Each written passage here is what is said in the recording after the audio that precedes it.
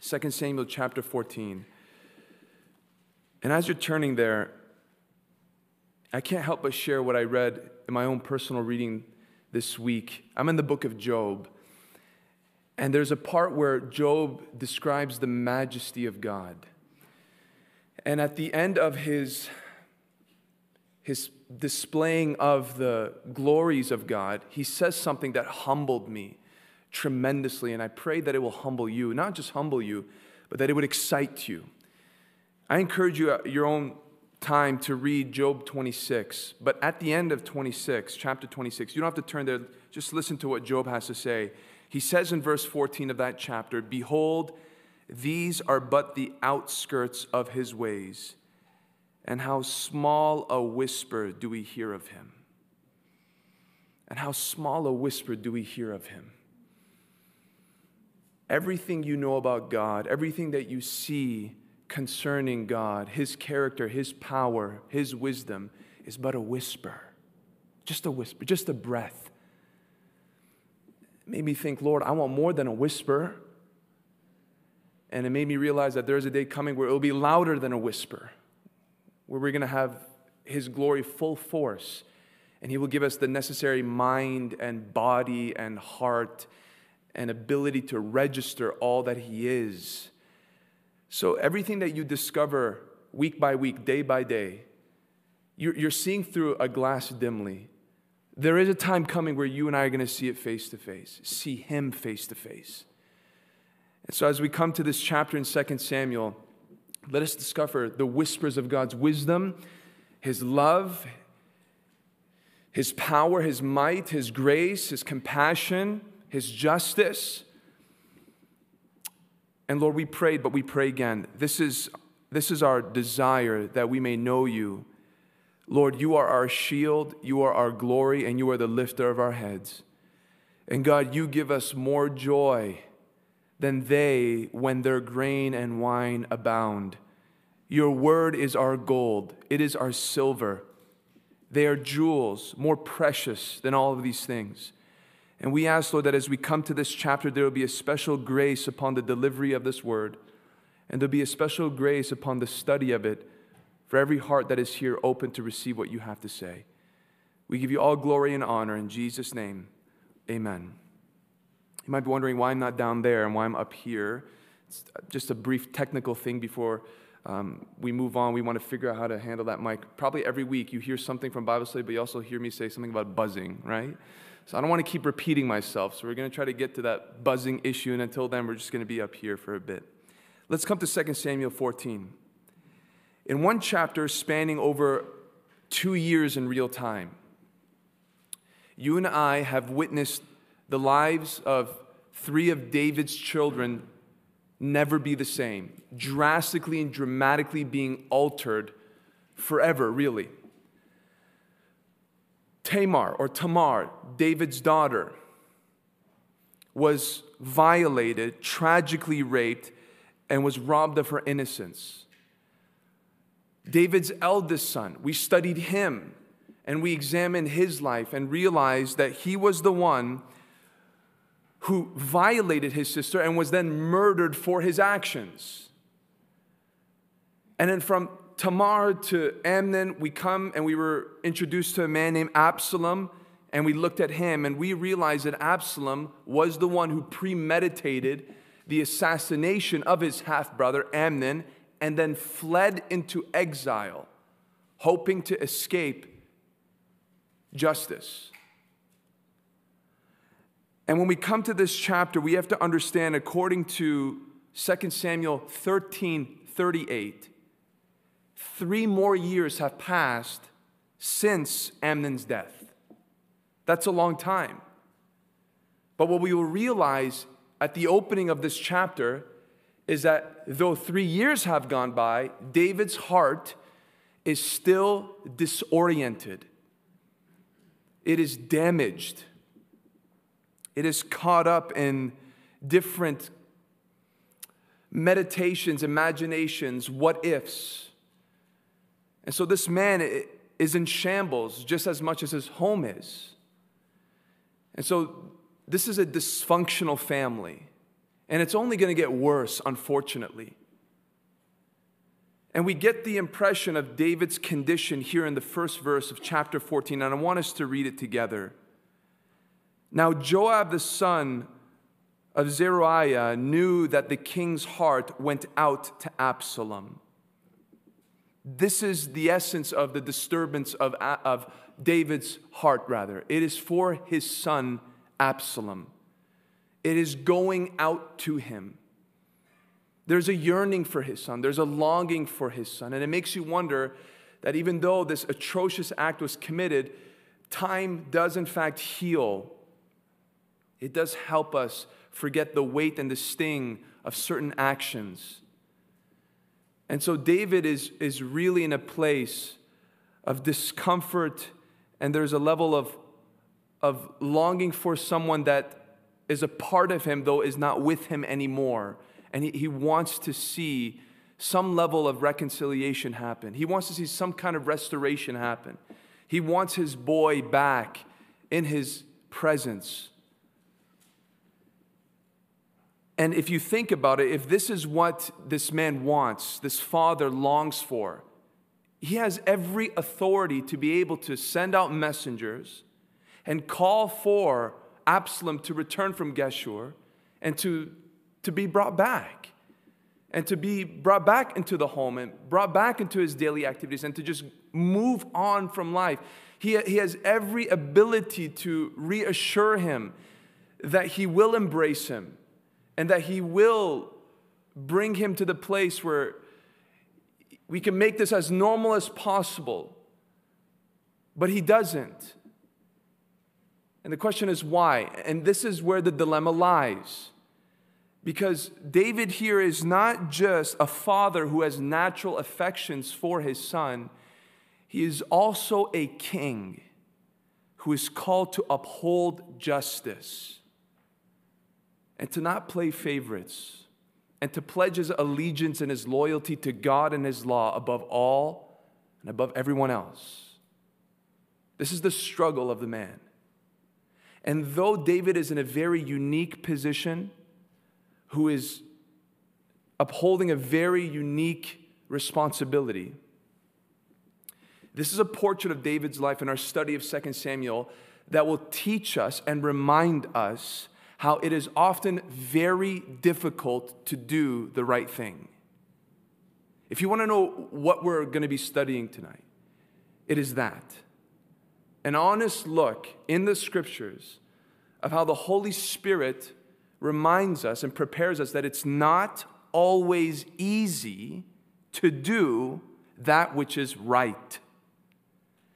And more than just telling us that, because many of us understand that already, the Holy Spirit will also, through this text, equip us to know how we can avoid the ensnarement and the traps that will try to keep us from pursuing that which is God honoring and will help us avoid mistakes that we will later regret because we fell into some form of deception that persuaded us to do that which was wrong, thinking that it would bring about better results.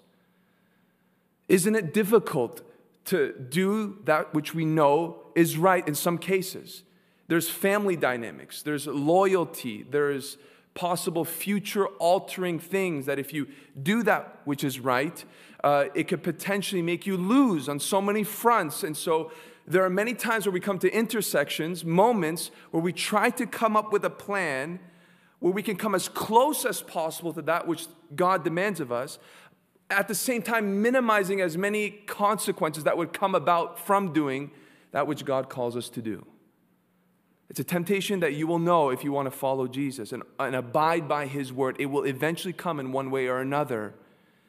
And in David's case, he is sitting on his throne day after day, night after night, struggling of how to go about this. Do I execute justice against my son?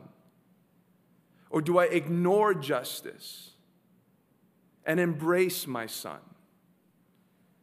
And we are told here that Joab picked up on this dilemma. Joab was a companion, a very close companion to David. He was his nephew. He was his confidant. He was someone that was in close proximity to David 24 7, really. And he was able to discern that David could not make a decision and that he felt stuck and he was in a very sticky situation. And so, after learning about this, David is going to be introduced to a different person, and it's really a plan that Joab is going to come up with. Let's read verse 2. And Joab sent to Tekoa and brought from there a wise woman and said to her, Pretend to be a mourner and put on mourning garments. Do not anoint yourself with oil, but behave like a woman who has been mourning many days for the dead. Go to the king and speak thus to him. So Joab put the words in her mouth. If you feel nervous that Joab is orchestrating something, you're justified in feeling a little uneasy. Because we know Joab enough to realize that he's not the most spiritual among the roster of Israel's mighty men. Joab was intensely loyal to David. He loved David. He loved supporting him. He loved working for him. But at the same time, this man was viciously motivated by self interest. And when you see Joab make certain decisions, you can't put your finger on it. You don't really know what's going on through his mind all the time. But we've seen again enough to realize that when Joab feels like something could potentially threaten him, he's willing to make dramatic decisions. And in this case here, we see that this man who does not have a high regard for the law, he already killed two people, or rather one at least that we know of, and he's going to, going to kill somebody else very soon, without a cause. And now we come here and we realize that he is speaking to a woman with no name, no identity, and is putting words in her mouth. What is he going to have her say on his behalf? Why is he even doing all of this? Well, one thing is for certain knowing Joab, whatever is about to be shared from this woman is not going to be in accordance to God's word. And we're going to learn that very quickly. We have reason to be suspicious and our suspicion will be proven true. So, if God's honor is not going to be the aim of Joab's scheme here, again, why is he doing this? And here's the thing we are not told. It's not explicitly clear why Joab is going to great lengths to now send somebody to send a message to David that has to do, obviously, based on verse 1, with Absalom. Could it be that Joab understood that there was judgment looming his, over his own head? He has blood on his own hands, and maybe he's trying to, in some way, project through this situation some kind of conviction on David so that he would not return justice on him. It could be, we don't know. Does Joab foresee something with Absalom being far away, potentially brewing up some trouble? And wanting to avoid something. And so he wants to try to bring about reconciliation as soon as possible. We already learned that when Absalom took his time, it's usually not a good thing because he's brewing something. Could that be the case here? Again, we do not know why Joab is doing this, but as we will see, this man does not have the scriptures as a standard, does not have God's law in mind, and he's going to try to convince David to do the same. So, what's going to happen here? Well, before we look at the conversation between this woman and David, we have to understand that Joab is smart. He is intelligent. I mean, he is the commander over the army, so he has some ability to strategize. Does this, this ploy of having somebody come to David to deal with a certain issue with a story, because now she's about to present a story, remind you of a past confrontation that David experienced. Think about it.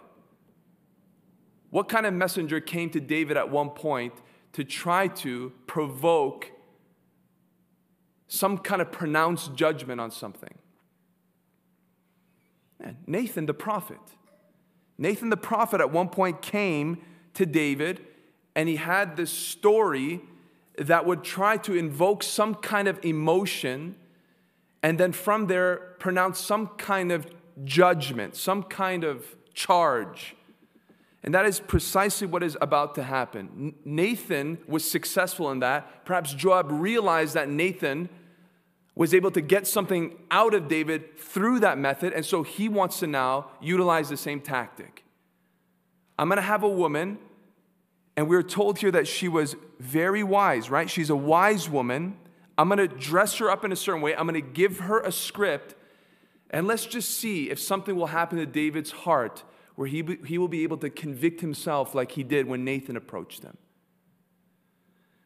And this is a lesson already. The fact that Joab is imitating Nathan in some way is instructive for us concerning how we face spiritual warfare in some way. What do you mean? Well, the prophet, again, came to David with a parable, and that would produce some kind of sense of justice for him to make some kind of a statement, right? But here we see that Joab, on the other hand, will, will use such a familiar means but not to bring about righteousness. It is to bring him to a point where he actually dismisses the law instead of coming to the law. This is now going to encourage him to overshadow that which God commands and to use a different kind of standard to make his decision concerning Absalom. And if that is true, then this is what we have to learn that the enemy, our enemy, the enemy of your soul and mine, he often disguises himself and imitates what God has done or what God can do in order to disarm us in a way that would dupe us in one way or another. So, this is a call for discernment, a discernment that David would unfortunately lack. You and I have to understand that this woman was described again as wise. And depending on the context, that can be a good thing or a bad thing. You know what is the last time, or where the last time we were told someone was wise? It was Jonadab. When we were told that he was a crafty man in 2 Samuel 13, it's the same word used here cunning, deceptive, persuasive, convincing. Joab knew exactly who to find to do the job. And you and I have to understand that we cannot be fooled by the way something or someone is packaged. We have to look beyond the surface. We must be able to develop discernment through the truth of God's word and His Holy Spirit in us. And so here's, here's the understanding just because somebody quotes a few verses out of context, it doesn't mean they're right. Just because they hold the Bible, just because their demeanor seems gentle and kind and compassionate and soft, it doesn't matter what kind of testimonies they even provide to try to validate their counsel or their belief. It doesn't mean they are from God. It doesn't mean it is right. And so here we see something very familiar. A righteous man did this at one point, but now we have an unrighteous man borrowing the tactics of someone who was of God and is now going to persuade someone through very similar tactics to draw somebody away from God. Be very careful. Devil doesn't come to your front door with horns and a pitchfork and a tail.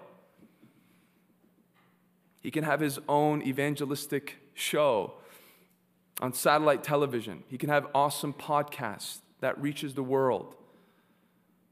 They can come to our church and sit in our pews and amen Bible studies and sing the same songs. Be very careful. Unfortunately, David is not careful with a pretender. She is a pretender. So now here's what we're going to do. The next set of verses will show us the elements, or at least some elements of deception that we must be aware of because, unfortunately, they are the very things that will direct a divided heart to make the wrong decision. Let's read from verse 4. You with me? Verse 4 When the woman of Tekoa came to the king, she fell on her face to the ground and paid homage and said, Save me, O king. And the king said to her, What is your trouble? She answered, Alas, I am a widow, my husband is dead. And your servant had two sons, and they quarreled with one another in the field. There was no one to separate them, and one struck the other and killed him. And now the whole clan, other translations would say the whole family, has risen against your servant. And they say, Give up the man who struck his brother, that we may put him to death for the life of his brother whom he killed. And so they would destroy the heir also. Thus they would quench my coal that is left and leave to my husband neither name nor remnant on the face of the earth. Again, like Nathan's parable, Joab is very clever, and here's how he's clever. He is fabricating a story to be close enough to David's predicament so that when he does pronounce a judgment, he would indict himself. Yet, he makes it different enough for David not to be aroused in his suspicion. But instead of sus- suspicion, there would be sympathy that would be stimulated based on the content of the case that is being presented. And so I want you, based on the verses that we just read, and I'm actually asking you, and I'm going to I'll hear your answers, we'll hear it together. Based on this, remember, the strategy is let's come as close as possible to the real event that happened a few years ago. But let's, let's separate ourselves enough so that David can't catch on. What are some differences? We see the similarities, right? But what are the differences here that are important to point out? And I'll tell you why they're important in, in a moment. What do you see here? You would have to have come the past few weeks to know what the real event was, but for those who have been here or know the story well, look at these three verses that we just read and think what is different?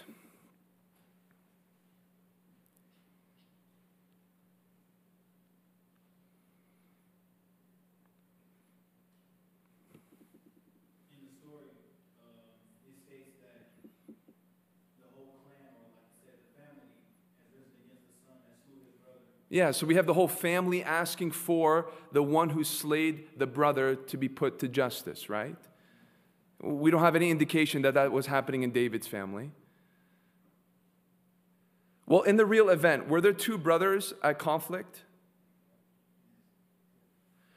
Now, the way this woman presents it was that there was a spontaneous combustion of some kind of tension and one brother killed the other on the spot. Is that what happened in real life? What happened in real life? It was premeditated. That's important. So the woman already here is trying to soften the crime by making it seem as though it was, it was just the heat of the moment. The heat of the moment, right? Somebody had their hand up. Yes? Yeah, interesting, right? There were no witnesses. There was nobody who can intervene. There was no one who could step in. Sure. What's the heartbreaking part about the story apart from the murder? She's a widow. She's a widow. She doesn't have a husband. So her only means of support are her sons. One son is gone. She has one son left. And if they were to perform this execution, if capital punishment were to be done, she would lose her other son and she would be left alone, destitute and in danger. That's an interesting difference. And she even strategically uses the word heir. I think that's to strike a chord in David's heart as well. Who will be the heir? My husband's name will disappear, it will vanish from the remnant of the earth. And so here we see something that may be similar. A real murder took place, but it's vastly different than what David had to deal with. Was Absalom David's only son? Was his only son left? No, he had several sons. So, was David's kingdom in jeopardy? Was his dynasty going to go extinct, even if Absalom was dealt with according to the law? No. But in this story, it's, it's a pretty serious dilemma. But that dilemma is not parallel to the real thing, and yet it's being presented for a reason. And here's the thing I was reading this, I was looking at this, I was studying this, and I thought, here's how you can summarize the strategy of this woman at this point in one word exaggeration. Exaggeration. She knows very well what David is dealing with. Joab made it known to her. And yet they blow it out of proportion. The, the fake story is blown out of proportion, and that is for a reason. She is making David's problem seem larger and more drastic than it really is. And when she comes to do this, she is doing so in order to sway his heart and to convince him that if he does make the wrong decision in the estimation of Joab, then it will cost him very much. And so this is a, this is a deliberate way of trying to overcome David with something that is not true. It's partly true, but it's not completely true. And we could even say that she is softening the brother's murder as something, again, as spontaneous, when the facts are Absalom thought about it for two years. From the moment that he heard that Tamar or Tamar was hurt, he knew, he went into that mode of planning something to eliminate his brother. And here's the thing that you and I have to understand with this some people exaggerate innocently, right? They're just prone to perceive things and to not recall them according to the actual proportion of, of the issues. And then there are other people who, who do so intentionally. And those who do it intentionally usually do so in order to accomplish a selfish ambition that would require deceit in order to arrive there. And that goal can be anything from seeking sympathy from others or praise from others. And so they decorate something in order to pull on the heartstrings a little bit more or excite people a little bit more. And that may seem innocent to us, but it can go from there to anything as extreme as what we see here to try to persuade those in authority to make a judgment that will be in their favor, even if it makes others pay a high price. Embellishing the truth may seem harmless, but it can be deadly to the undiscerning. And it happens more often than we think, doesn't it? We've maybe caught ourselves doing it. One of the ways that I've seen it throughout the years of ministry this is probably the most common way I've personally seen it. Maybe you would not agree with me, but this is just me. Is that when a case is presented, or when there's some issue or whatever is going on, it's usually backed up or it's usually introduced with the following So many said or saw or heard the same thing. The majority agree there is a consensus.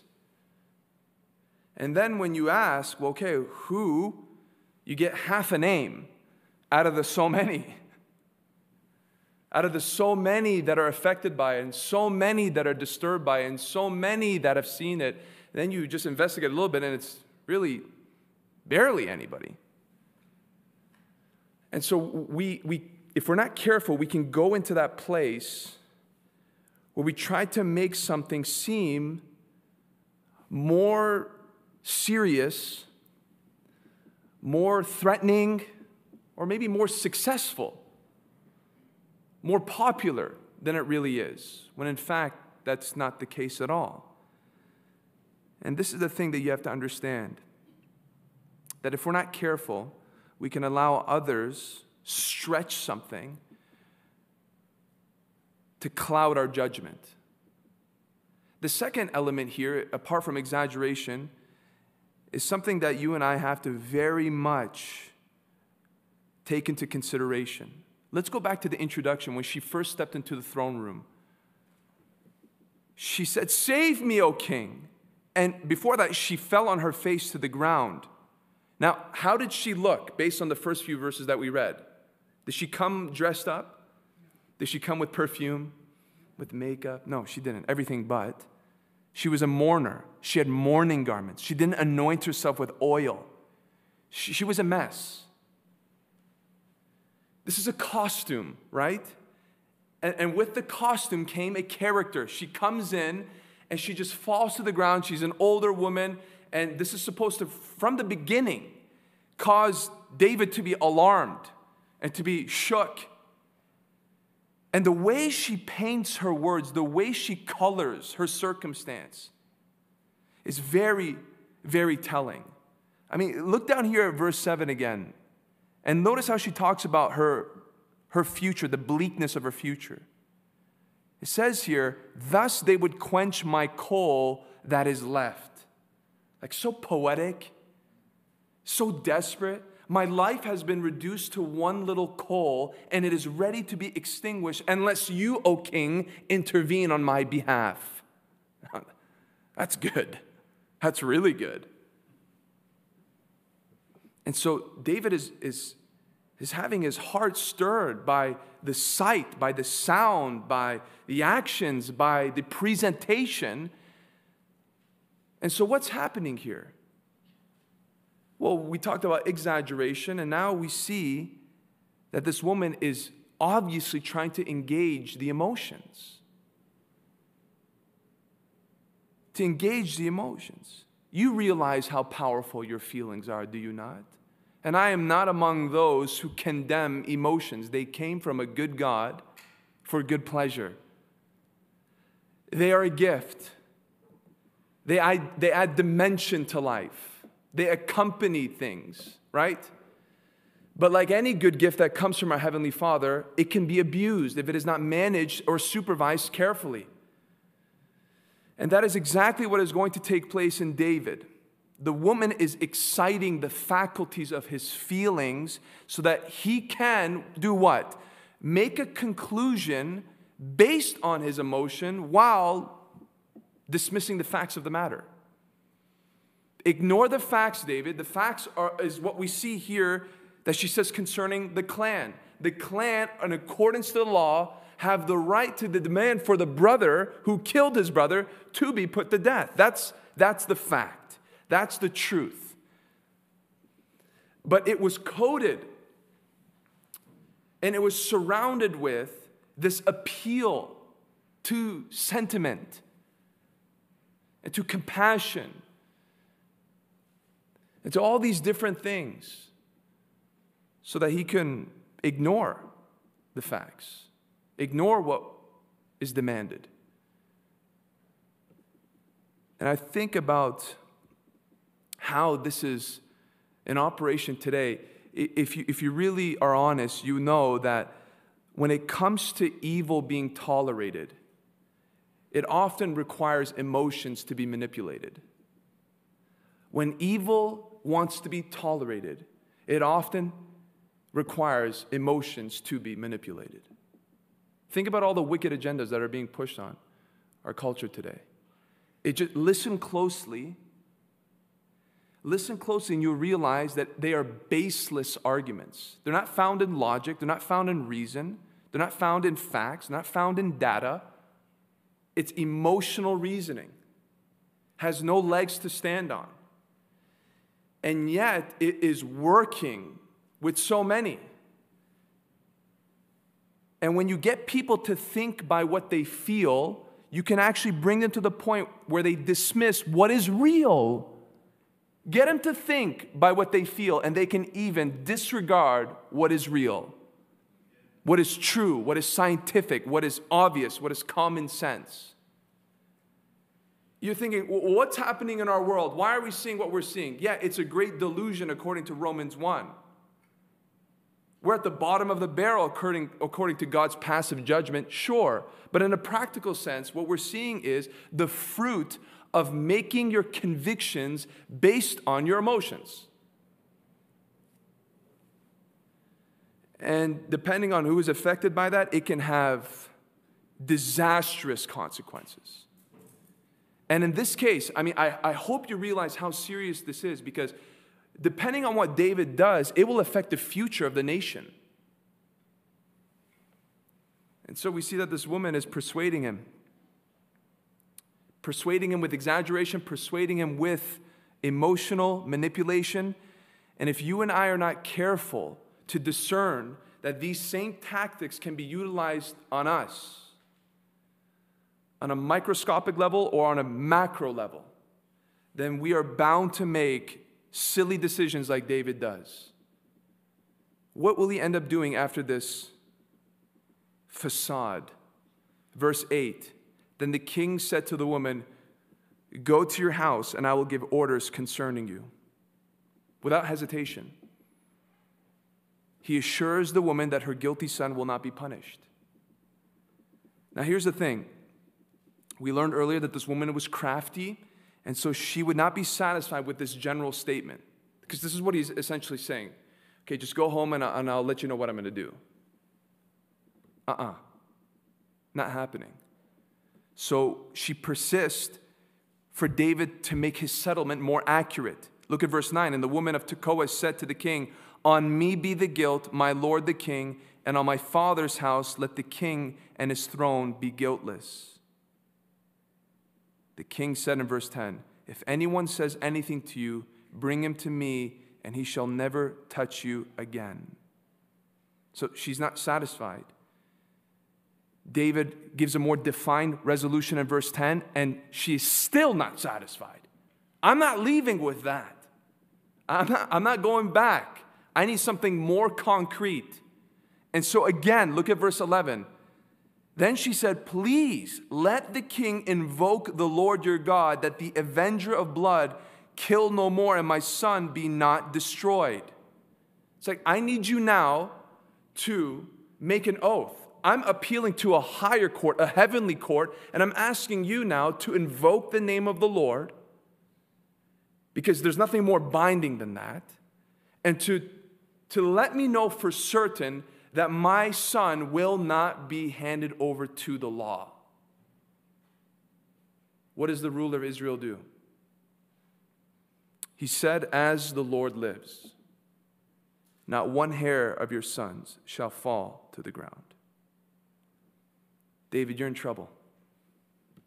Without him realizing, he compounded his conviction, his own conviction, his own condemnation. And he backed himself up in a corner, and guess what? He won't be able to escape unless he's willing to be blasphemous and dishonor his oath to God. He's stuck. He can't go anywhere from here, especially because the Lord's name is now involved. And once the woman saw that David was committed to this case, she turns the table. And like Nathan, who at the right time said, You are the man, she is now going to reveal what this is really all about. So look at verse 12. Then the woman said, Please let your servant speak a word to my lord the king. He said, Speak. I'd be nervous. And the woman said, Why then have you planned such a thing against the people of God? For in giving this decision, the king convicts himself, inasmuch as the king does not bring his banished one home again. You know what I find so disturbing about this? Because as much as this is the woman who's standing and facing off with David, it's really Joab. And what I find so disturbing about this whole ordeal is that Joab is going to great lengths to make sure that David is convicted. Like, wouldn't you think you would do that with Absalom instead? Who's the real guilty one in all of this?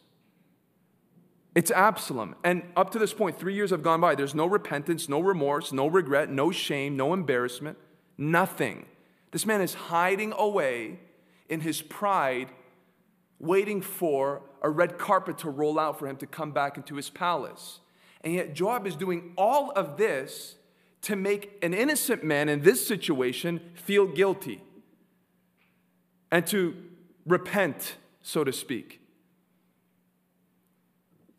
And when you see this, you have to understand that we should not expect anything more from somebody who does not have a submission to the scriptures. When you do not view the world the way God calls you to view the world, you will have a distorted understanding of what is right and what is wrong. Is that not true? And when I looked at this, when I looked at Joab's behavior, I, I thought of the verse that is there before Proverbs chapter 30. The last verse of Proverbs 29 reads this An unjust man is an abomination to the righteous, but one whose way is straight is an abomination to the wicked. An unjust man, somebody who's guilty, somebody who's a sinner, somebody who's a rebel, that kind of a person is an abomination to the righteous. But the one whose way is straight and honorable and on the narrow path and in perpetual agreement to the word of God is actually an abomination to the wicked. So, that same righteous indignation that you sense concerning sin and injustice and corruption, those same feelings, though justified, are experienced in the hearts of those who are evil towards those who are right. There's such a perversion that occurs when we abandon God. Everything gets messed up. And Joab here is proving to be such a man. He can look at somebody like David and instead of encouraging him to do right, challenge him to do wrong, and then to even indict him if he doesn't. So David is, is hearing this from this messenger, this actress, this lady with no name. And how do you know that Joab, based on the verses that were just read, how do you know that Joab is not a person who has regard for the scriptures? Look carefully, specifically at verse 13. What stands out to you? What is the subject of David's guilt, apparently?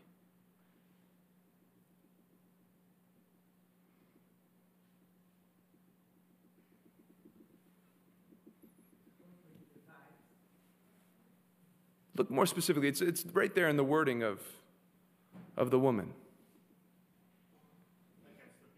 Very good. Why have you planned such a thing against the people of God? You know what he should have said if it was true? Against the law of God. No such thing.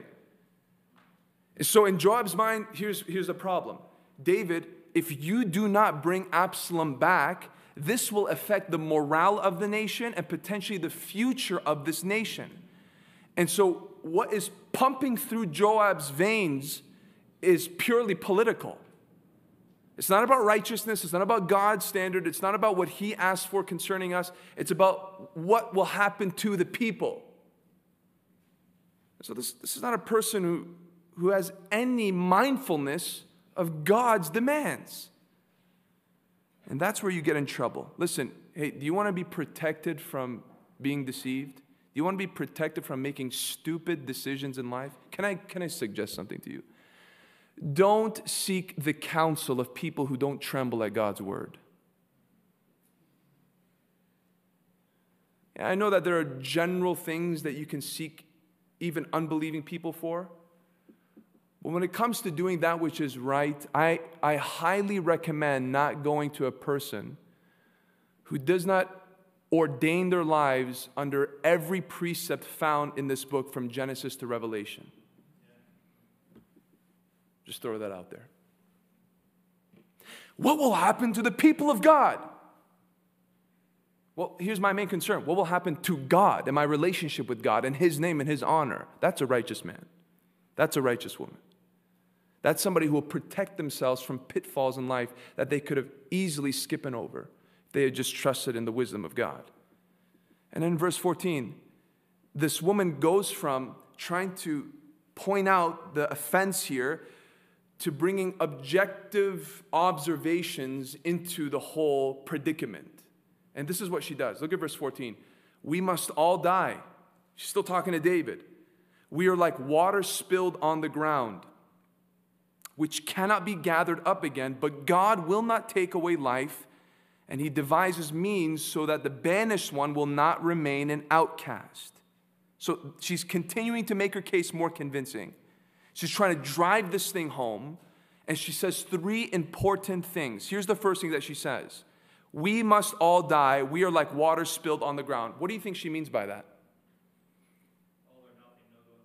Kind of, but you're close. Life is short, David. Life is like spilling water, and not only is it short, once it's over, it's over. If I spill water here on the carpet, you would think I'm a madman to try to put it back in the cup. And so it's a combination of not only is life short, it, it, its end is unexpected, and once it's over, you can't redo what you need to redo or what you hope to redo.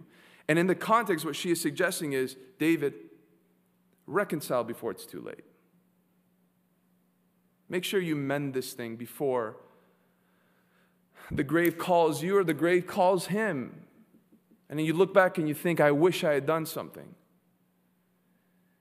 And so she's, she's appealing to the brevity of life and our unannounced expiration date and how we should do what we need to do to be able to make sure that we are at peace with all men and that when God does call us home, we don't look back and have any regrets. I think that's a powerful point. But then she says something else. The second thing is God does not take away life. Consider the context. But God will not take away life. What do you think she means by that? It's a little harder to interpret.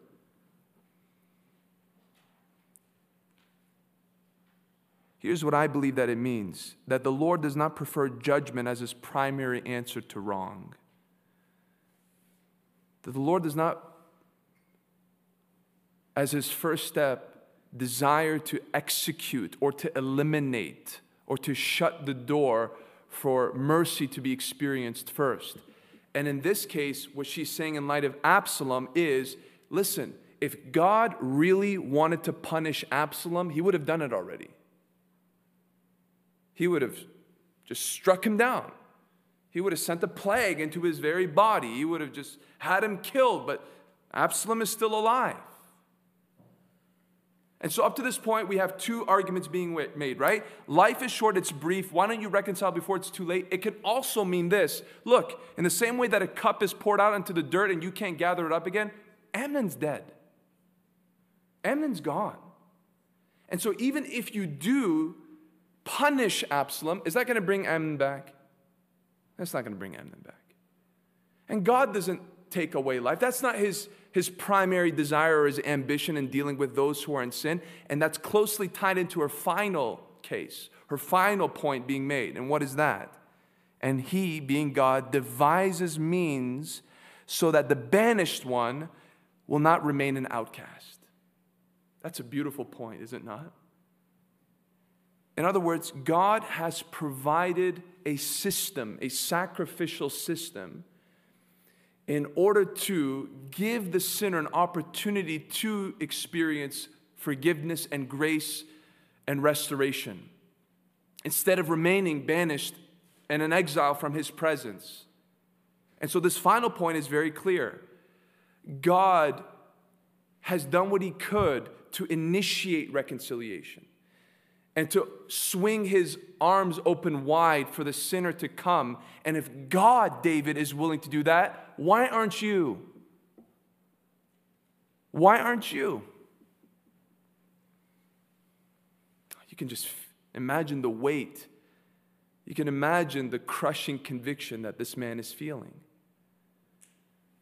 And so, all in all, this is all being said so that David could urgently and mercifully bring Absalom home. I might disappoint you at this point, but you have to stick around to see what I'm about to say and prove it. As kind and as compassionate, as warm and fuzzy all of this may seem, there are a couple of things wrong with this picture of forgiveness. What are they?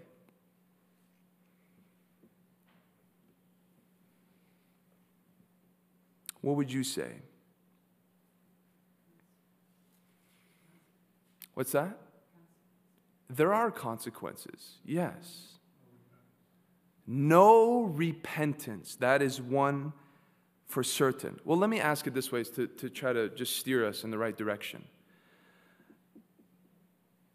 Many have referenced that verse, verse 14, uh, especially the last part, as a gospel gem hidden and tucked in an old covenant text, which is true because it points to God's ultimate means of bringing the banished one back to his presence. And that means is the man Christ Jesus. That, that's the foreshadowing here. There has been a device, there has been a plan that God has ordained from eternity past, and it is that through the Son, those who have been pushed out because of their sin can now be brought back into fellowship with the Holy One. And as, as we look at this, we realize that's wonderful. That's true. That's, that's a wonderful way of, of trying to persuade the hearts of those who are lost to realize they can be found. But here's the problem Does God compromise his law in order to reconcile us? He doesn't. And this is why this is important. This is a gospel truth. You have many people who believe the way God forgives is that he just brushes things under the carpet. He says, you know what? I'm just going to take your sins and throw them in the sea of forgetfulness. We're not going to have to deal with it. I, let me just wink. Let's just start over. Let's just turn over a new leaf. Let's just forget it ever happened. That's not how God forgives. And a popular preacher once said, and I looked it up just to make sure if it's still up there. And it's still up there. So it's still a public thing. And as, as pastors who especially deal with the truth and have to protect people from th- those ideas that are not true, I have to tell you this. There's a popular pastor, maybe you've heard this, who said something along the lines of that God broke his law in the name of love. Did you hear it? God broke his law in the name of love. And the idea there is that I'm guessing, because it wasn't clarified. So you're leaving me to speculate with such a strong, strong commentary of the, the gospel.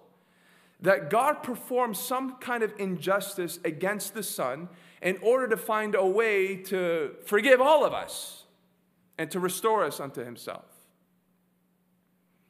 God didn't break His law to display His love, He satisfied the law. That's the gospel the wisdom of the cross is that justice and mercy kissed, and that God could uphold his holiness while at the same time extend his mercy, and neither of those attributes were ever compromised one bit. So God did not suspend his justice in order to seem more loving to sinners. No, he satisfied his wrath in order for us to experience his loving kindness. That's the idea. And so to hear what this woman has to say is partly true that there has been a plan provided, a means so that the banished one will not remain an outcast, but not at the expense of the law being ignored or neglected or worse, violated. And so we see here that no moral code was ever, ever, ever deleted in order to win our pardon. No, he was able to satisfy his justice while swinging the door of mercy wide open for us to come right in. But one might object, and this is where I want you to be equipped. Well, that, that sounds nice, but is it really fair for the Son of God to be killed on behalf of those who have sinned themselves and have a record of their own to deal with. Is that really just for God to send his son and to place the sin of the world from Adam up to the final person who will live before it all ends? Can we say that that is right? How would you answer that? Because that's a common question. Isn't that good? Can I tell you the reason? Can I tell you the answer?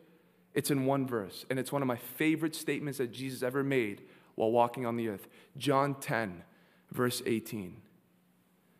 No one takes it from me, but I lay it down of my own accord. No one takes it from me, but I lay it down of my own accord. And then he goes on to say that he has the authority to lay it down and he has the authority to bring it right up again. Glory to Jesus Christ. I volunteer my life.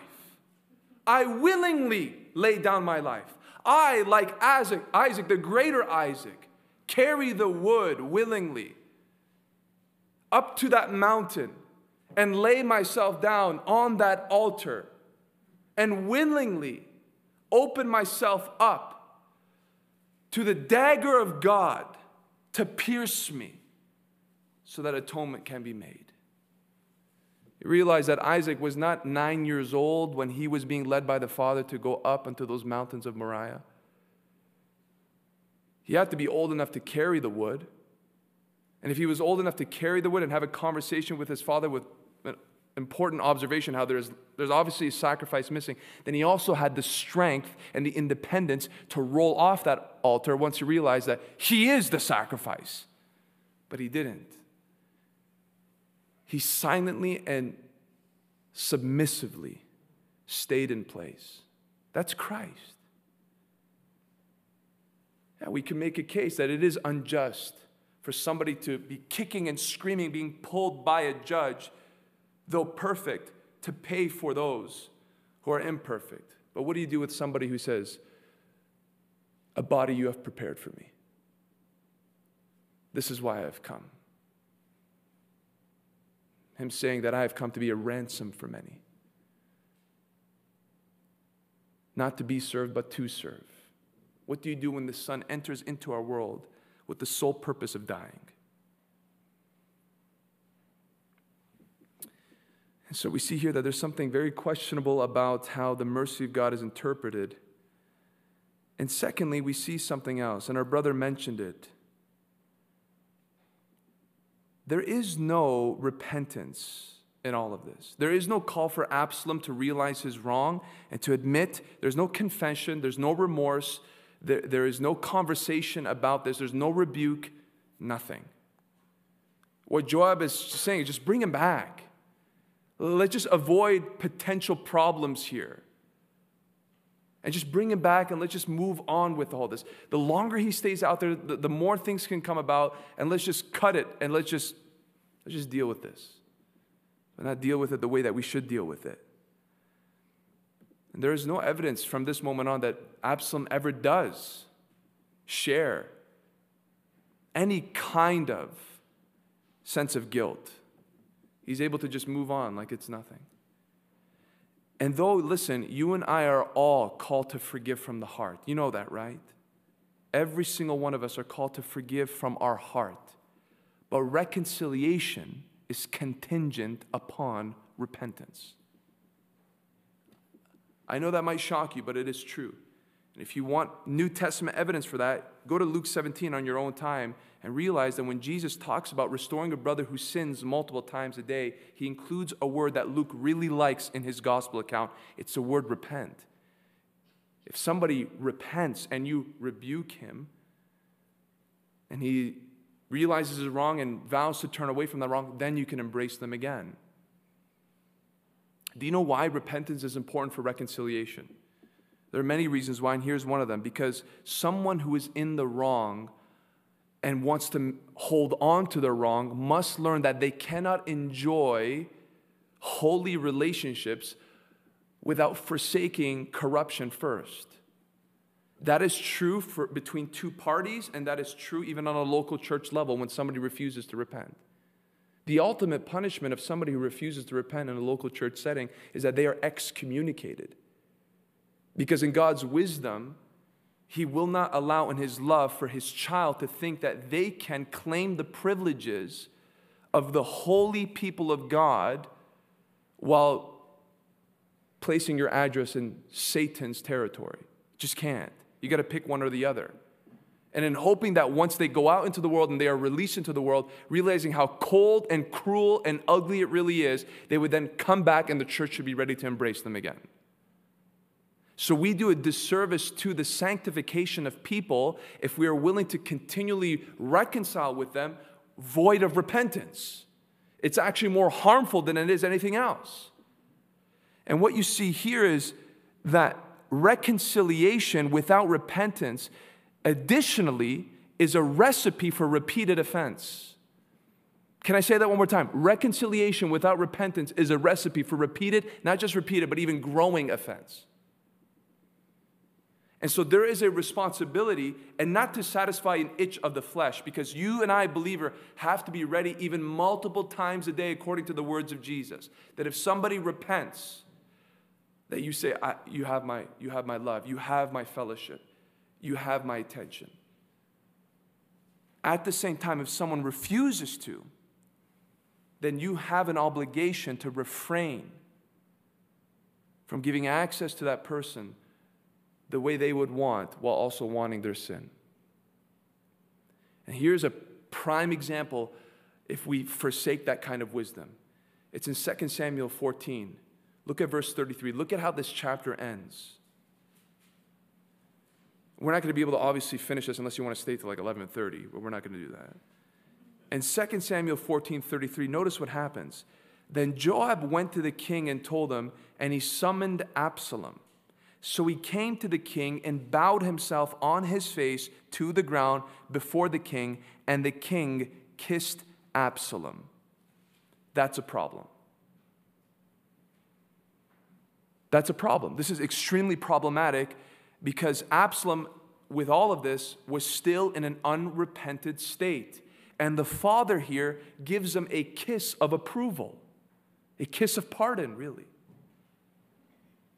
And that kiss permitted Absalom to have full range access to the world and the life that he knew before he was banished. And you know what you see in a very few short verses after this happened? Go to chapter 15 and look at verse 6. Thus Absalom did to all Israel who came to the king for judgment, so Absalom stole the hearts of the men of Israel. Do you know what happened? You know what's going to happen? Civil war is going to break out. Civil war is going to break out, and it had it happened because David was deceived in thinking that reconciliation without rebuke, reconciliation without repentance would bring some kind of peace. You would think that this gesture would humble such a man and overwhelm him, but instead, he's going to bring more harm than he ever did before. And instead, not only is he going to rip a nation into shreds, he's going to destroy himself. So you see, we don't do people favors when we give them access to the fellowship that the Bible allows us to enjoy when we come together with the same cause and the same fight. We don't do people service when we say you can hold on to your sin and still have all of this. Not only are you going to bring more harm to the context of your life, but to that very person that you're trying to help. Because Absalom is going to end up dying unrepentant. So you see, in the same way that God does not bend justice to bring us to himself, he also does not excuse unrepentance for reconciliation's sake. So, everything about what this woman of Tekoa is saying flags, flags, flags. It sounds good. It's very heart moving, but it's not completely true. And here's the problem. In verse 18, after she continues and concludes her whole spiel. Then the king answered the woman, Do not hide from me anything I ask you. And the woman said, Let my lord the king speak. The king said, Is the hand of Joab with you in all of this? So some kind of fog was lifted, and he was able to realize. I mean, it makes you wonder. This is twice now it happened, right? You had Nathan come with a parable like story and then you it ended up pulling something out of you, and then you get yourself in trouble. And now this woman comes, and she he probably figured out this is not fictitious, most likely, and, and so now he's wondering. There's somebody behind the scenes here, and he says, "Is Joab behind all this?" The woman answered and said, "Assure as you live, the Lord the King. One cannot turn to the right hand or to the left from anything that my Lord the King has said. It was your servant Joab who commanded me. It is he who put all these words in the mouth of your servant. In order to change the course of things, your servant Joab did this. But my Lord has wisdom like the wisdom of the angel of God to know all these things that are on the earth. Like I would say the same thing probably if I realized that, oh, I got caught. You're like the angel of God. You're so wise. You're so amazing.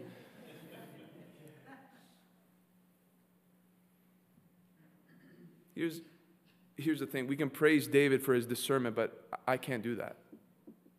You know why? Because I think his questioning was too late. David, you should have asked those questions before.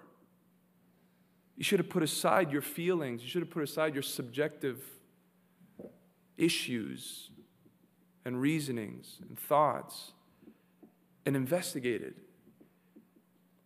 and waited And see, you and I, in this day, we, we are called to such wisdom. I'm so happy that Pastor Daniel read about wisdom in Proverbs 4. I think this is the beauty of Bible studies like this. It's extremely practical for day to day life. And we are living in a day of exaggeration. We are living in a day of an emotional tornado and it's going to demand us to make decisions about our convictions, about who we fellowship with, about where, where, we go, what we do, what we say, what we don't say. And we will get ourselves in trouble unless we apply the wisdom of God's word to be our shield and to be our filter in this world. And so I look at David here and he asks the question, but he, he's already stuck. He can't get out of it. He invoked the name of God, and so he has to go through with it. And so be reminded, believer, in this place that stories like this have been given to preserve us from similar mistakes.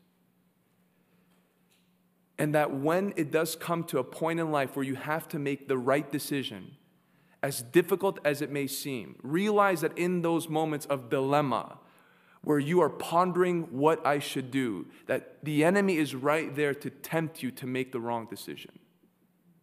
He'll put fear in you. He'll convince you that God's law seems inconsiderate and overwhelming. He'll try to persuade you that if you do it this way, which violates God's law, it will protect your future and it will cause less problems. And so, in those moments, just come to the Word of God. And, and in those moments where the Word of God gives you the clear answer, trust in what God had said.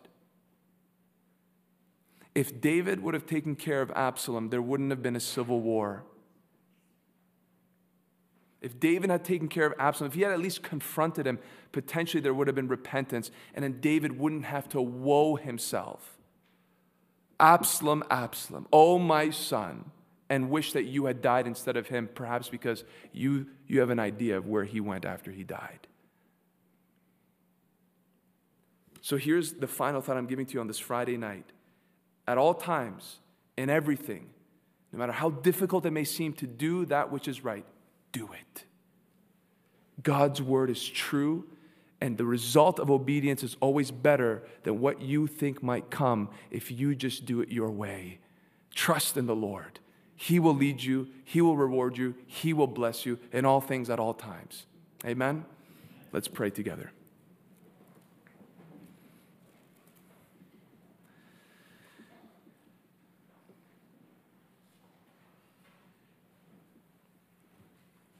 Lord, we, we humble ourselves tonight. And though there's so much meat in this chapter, we trust that what you desire to speak to our hearts has been accomplished. Lord, with all of our weaknesses, we pray that what has been presented and studied and discussed together would indeed affect us. And Lord, we even pray that for those who will have to face difficulty in doing the right thing, that this study will come to mind. This example in your eternal word would surface in the forefront of our thinking, and that we would be encouraged to know and equipped to know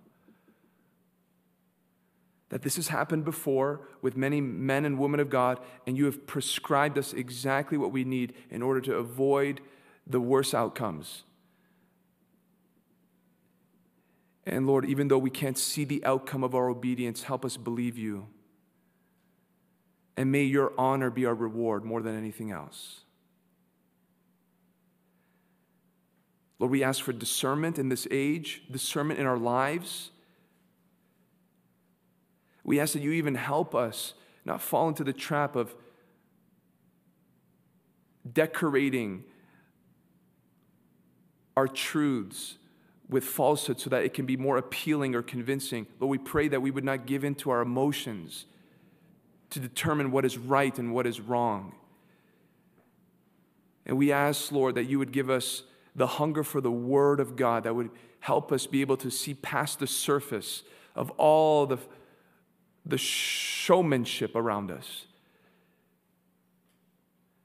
And so, Lord, we give you glory tonight for this study. We are moved to worship you because this is your wisdom given to us, and we are privileged to be adorned with these things that will help us glorify you tomorrow and the day after for the rest of our lives. Lord, receive our praise because it will be a praise of thanksgiving for the feast that 2 Samuel 14 has been to us tonight. We bless you now. In Jesus' name, we do. Amen. Amen. Shall we stand and give God glory?